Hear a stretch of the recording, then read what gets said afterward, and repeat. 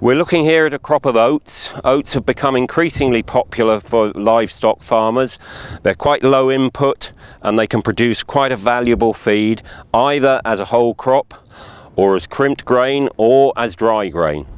At this stage you can see there's a fair mixture of green and golden grain on in the crop and this would be the very latest stage at which you'd take this crop for fermented whole crop.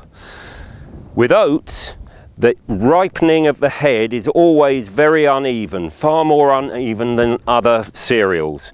The tip of the head up here, the grains will be quite hard now, no milk in them at all, quite difficult to squash.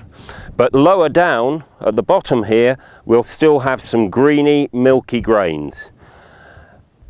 That mixture will give us a crop, a, a whole crop of around 35 to 40% dry matter, which is ideal.